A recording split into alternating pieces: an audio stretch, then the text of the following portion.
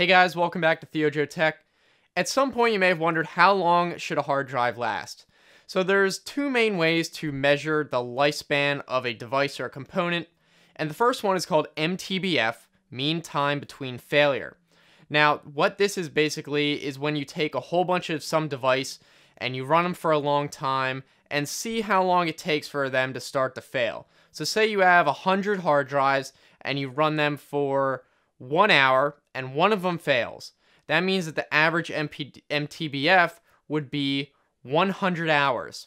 So you can use this to extrapolate into huge amounts of time, even though you don't have that much time to measure it, but you're doing this by using a whole bunch of devices instead of a lot of time.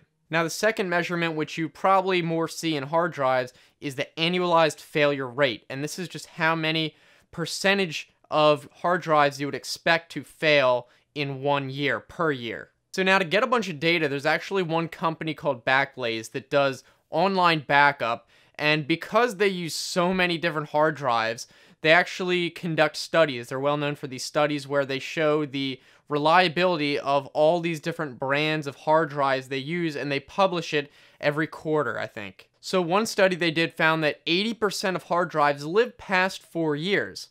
And then past 6 years only 50% survive that long. So if your hard drive is 6 years old or more, you probably need to get a new one. You're you're on a 50-50 chance here. They also found that there are three distinct phases of hard drive failure. The first year, the next 1.5 years after that, and then the rest of the time. So the first year, there's actually a 5.1% failure per year. That's the annualized failure rate that we were talking about.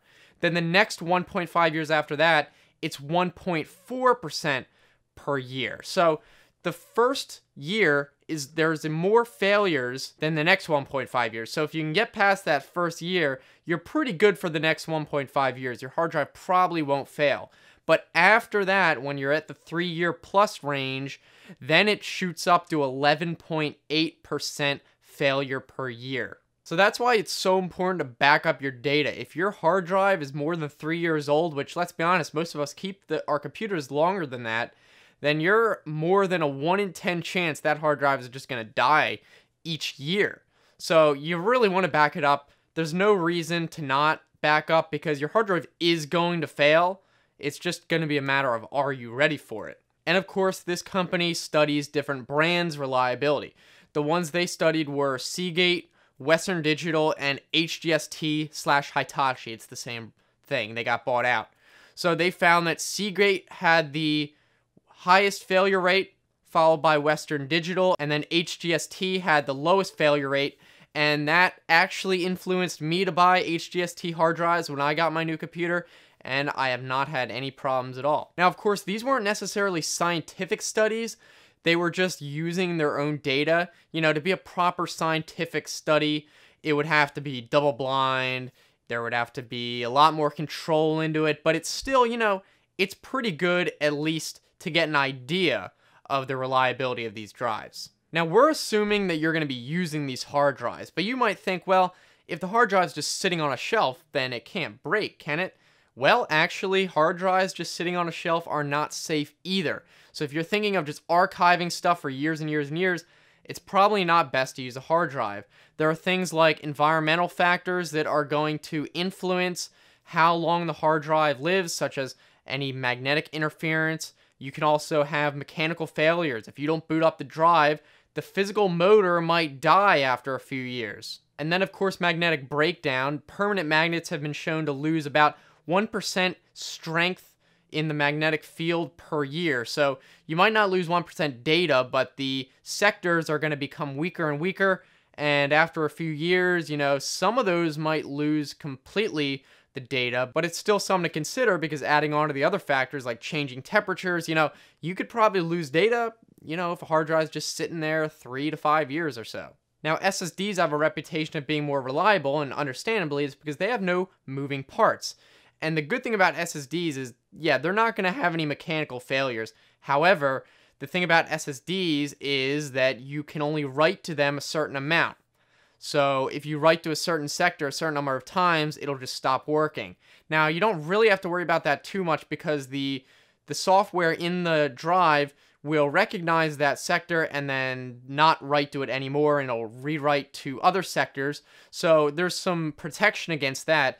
And there's actually been tests done that, you know, consumer grade good SSDs can survive writing of upwards around a thousand terabytes before they really start to fail. So unless you plan on filling up and deleting your terabyte SSD a thousand times, you probably don't have to worry about that. But of course, you still need to back up because SSDs have been known to fail. There are defects, there are, you know, anomalies that might break the drive. You still got to back it up because it's not bomb-proof. And I know you're probably thinking, well, surely SSDs, they can't fail mechanically. Surely an SSD must have a great shelf life.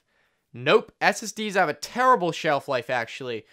Believe it or not, most SSDs are going to fail within a year probably if you just sit it on a shelf with no power. And that's because flash memory requires power to store the data. It's not magnetic. It uses, you know, NAND technology which does require power to sustain that data. And some drives might last less than 3 months with zero power. So, you know, you you need to keep power in the SSDs, or else you might start to lose some data. Definitely not good for long-term storage. So now we arrive at the question, what is the best mode of long-term storage for a lot of data?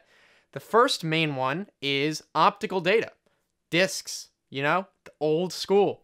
Blu-ray, you know, we don't really know how long these last, but accelerated aging tests suggest that Blu-ray discs could survive 30 plus years but we don't really know that. We're not totally sure because, you know, accelerated aging doesn't really tell us the whole story. However, a disk specifically designed for long-time archival storage may last upwards of 50 years or more. Sony and Panasonic are actually developing a new technology called archival disk, which is going to be based on Blu-ray technology, and they want to have a roadmap where these discs are going to be able to store a whole terabyte on one disk within, you know, a few generations of this disk type. So that's really promising, but right now, you know, disks aren't that practical if you have to store a lot of data. They can really only store about 25 gigabytes, 50 gigabytes.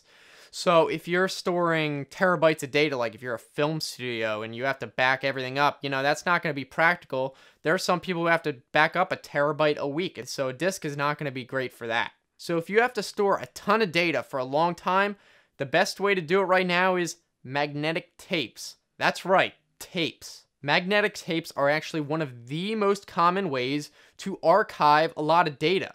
There are these tapes called LTO, linear tape open tapes, which can store 2.5 terabytes or 6.25 terabytes compressed on one tape.